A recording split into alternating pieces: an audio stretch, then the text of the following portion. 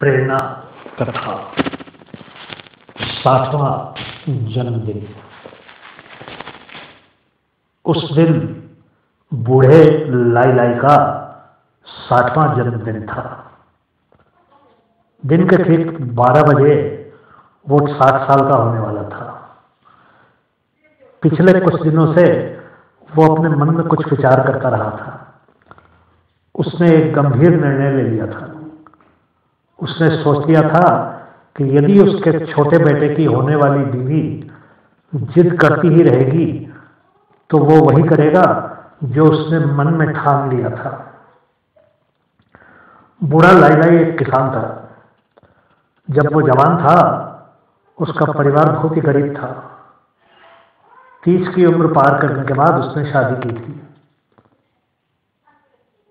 उसकी पत्नी की आँखों की रोशनी आधी थी। या यूँ कह सकते हैं कि उसकी पत्नी आधी अंधी थी। फिर भी लाई लाई उसको बहुत प्यार करता था और वो भी लाई लाई को बहुत प्रेम करती थी। लाई लाई का पहला बेटा भी आधा अंधा ही पैदा हुआ था, परंतु उसका छोटा बेटा बिल्कुल ठीक ठाक था और पूरी तरह से तंदुरुस्त था। बूढ़े लाई ने जवानी के समय में ही अपनी श्रम शक्ति से चार कमरों का घर भी बना लिया था। लाई लाई का बड़ा बेटा बहुत ही सीधा साधा था और वो अपने माता पिता से बहुत प्रेम करता था।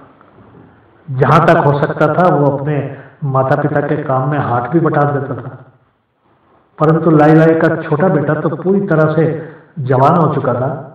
बहुत ही चालाक और स्वार्थी था। लाई लाई ने सोचा था कि जब उसका छोटा बेटा शादी करेगा वो घर के दो कमरे उसको, उसको और उसकी पत्नी को दे देगा। जब छोटे बेटे ने सबको बताया कि उसने अपने लिए एक सुंदर पत्नी खोज ली थी तो घर में सभी खुश हुए थे और विवाह की तैयारियाँ करने लगे थे। परंतु लाई लाई के छोटे बेटे की होने वाली पत्नी ने शर्त रख दी कि उसको घर के चारों कमरे ही चाहिए थे, अन्यथा वो शादी नहीं करेगी। बेचारा लाई लाई बहुत ही चिंतित था, क्योंकि सारा जीवन परिश्रम करके एक चार कमरों का घर ही तो उसने बनाया था। वो सोच भी नहीं सकता था कि अपने छोटे बेटे को वो घर देने के बाद वो अपनी आधी अंधी पत्नी और अपने आधे अंधे बेटे को लेकर कहा जाएगा जैसे ही दीवार पर लगी घड़ी में दिन के बारह बजाए उसने अपनी पत्नी और अपने आधे अंधे बेटे की आवाज़ें सुनी। Happy birthday to you happy birthday to you ठीक उसी समय उसकी पत्नी एक प्लेट में लाई लाई का मनपसंद चिकन चिली लेकर आ रही। और कुछ मिठाइयाँ भी ले आई उसके आधे अंधे बेटे के हाथ में सफ़ेद वाइन की एक बोतल थी और वो बोला आइए पिताजी, आपके साठ वर्ष को एक ग्लास सफ़ेद वाइन से और भी सुंदर बनाते हैं। बूढ़े लाई लाई की आँखों से आँसू गिरने लगे और उसने अपनी पत्नी और बेटे को गले से लगा लिया।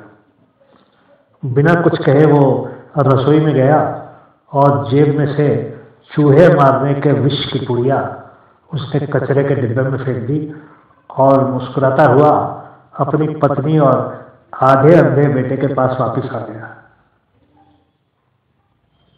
तीनों मिलकर बैठकर खाने पीने लगे। मित्रों, कैसी विडंबना है कि एक ही माता पिता की दो संतानों में कभी कभी इतना फ़र्क क्यों हो जाता है? एक पुत्र अपने माता पिता पर जान लुटाता है और दूसरा पुत्र पत्नी मोह में फंसकर बूढ़े माता पिता और आधे अंधे भाई को घर से बाहर करना चाहता है। बहुत भाग्यशाली होते हैं वो पुत्र और पुत्रियाँ, जिनके सर पर माता पिता की छाया होती है। मित्रों, जहाँ तक हो सके अपने माता पिता को पूर्ण सम्मान दीजिए और उनके जीवन काल में उनकी संपत्ति को सिर्फ़ उनका ही मानकर उनके घर में अतिथि की तरह ही रहिए।